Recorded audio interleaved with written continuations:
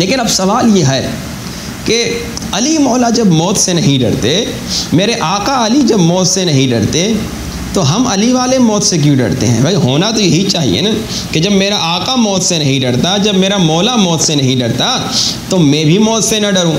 अच्छा पहले तो कोई कह भी सकता था, मैं मौत से नहीं डरता। लेकिन कोरोना ने बहुत सारों की असलियत ज़ाहिर कर दी।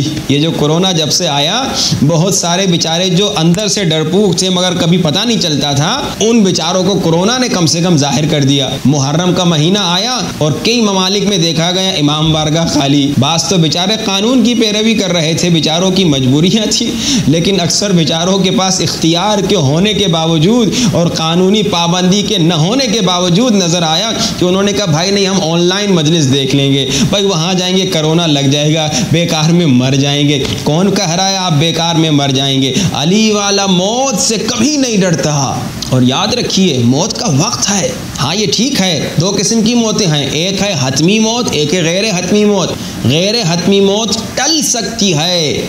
मुख्तलिफ़ नेक अमाल की वजह से और गैर हतमी मौत जल्दी आ सकती है बाज़ गुनाहों की वजह से। और एक है हतमी मौत। आपकी हतमी मौत आनी हो तो आपकी आ जाएगी वो मौत। जितने सदक़े दें, जितना सिले रहम करें, जितने नेक काम करें, जब आपकी हतमी मौत आ जाए उससे निजात नहीं मिलेगी।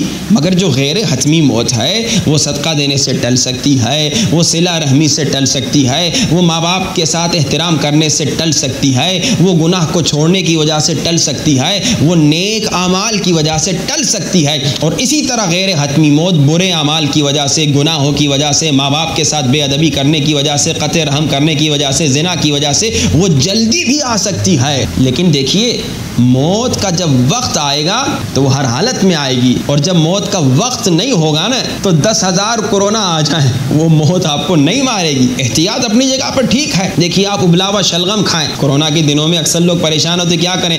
इमाम मूसा काजिम सलाम की दवाई खाएँ। बेहतरीन दवाई है इम्यूनिटी सिस्टम को मज़बूत करने के लिए। अभी गर्मियों के लिए तो आप खुद भी घर में बना सकते हैं। उसमें गुड़ है और हलीला सिया है और सौंफ है। सेम मकदार में आप उसको ग्राइंड करें और आप उसको इस्तेमाल करें। अगर आप खुद नहीं बना सकते तो आपको इंशाल्लाह मिल जाएगी। मशद से या कुम से। अब देखिए इम्यूनिटी सिस्टम को मज़बूत कीजिए, शलगम खाइए, इमाम मूसा काजिम सलाम की दवाई खाइए, अदरक की चाय ज़्यादा से ज़्यादा पीजिए। इस तरह के कई और दूसरे नुस्खे हैं जिससे आप अपना इम्यूनिटी सिस्टम मज़बूत करेंगे। एहतियात करने से कोई मना नहीं कर रहा, मगर अक्सर देखा गया और बड़ा अफसोस हुआ कि अली वाला है, शिया है। 2019 तक तो बड़ा आज़ादार भी था, लेकिन 2020 और 2021 में वो बेचारा आज़ादारों की लिस्ट में नज़र ही नहीं आता। मजलिसों में आता ही नहीं है, घबराता है यानी इवन जहाँ पे कानून की परमिशन है, जहाँ पे कवानीन ने इजाज़त दी थी, वहाँ पर भी इस तरह के बेचारे कई लोग घबराते हुए नज़र आए। तो पता चला कि अभी ज़बानी शिया हैं, हकीकी शिया।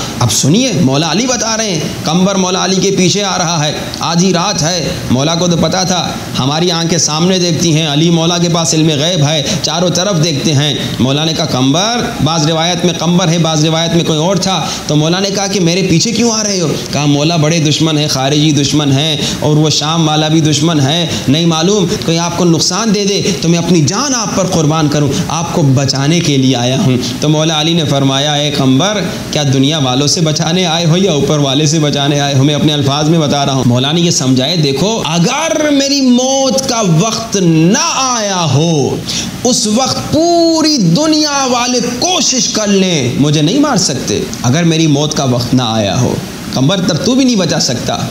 अगर मेरी मौत का वक्त न आया हो, पूरी दुनिया मुझे मारना चाहे, मुझे नहीं मार सकती। और अगर मेरी मौत का वक्त आ गया हो, उस वक्त पूरी दुनिया मुझे बचाना चाहे नहीं बचा सकती, क्योंकि अल्लाह का हुक्म आ चुका है, कंबर उस वक्त तू भी नहीं बचा सकता। तो कंबर मुझे दुनिया वालों से बचा रहे हो, या आसमान वाले से बचा रहे हो?